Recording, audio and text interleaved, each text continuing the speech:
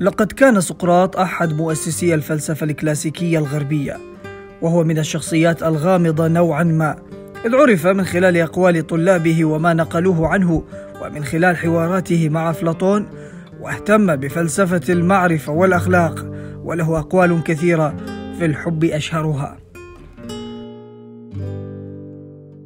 الجمال هو طغيان غير دائم.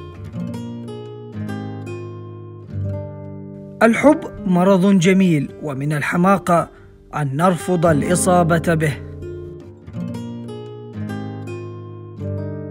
كن مع والديك كما تحب أن يكون أبناؤك معك.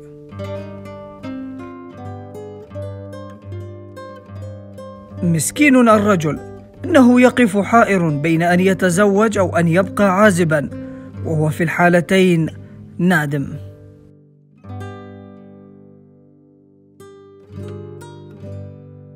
تجنب حب المرأة ولا تخف كراهية الرجل. الرجل الصادق دائما طفل. كن بطيئا بالدخول إلى صداقة جديدة لكن في حال كنت داخلها فواصل بقوة وثبات. لم أطمئن قط إلا وأنا في حجر أمي. السعادة هي اللذة دون ألم.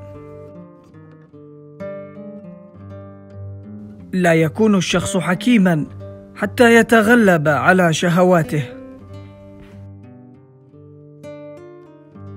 الذكاء يحول القبح جمالا. في حين لا يستطيع الجمال إصلاح الجهل. ليس من الصعب أن تضحي من أجل صديق لكن من الصعب أن تجد ذلك الصديق الذي يستحق التضحية. أنت لا تعيش لتملك السعادة فقط بل تعيش لتقدمها أيضا. إن لم نكن في الأماكن التي نحبها فنحن غرباء.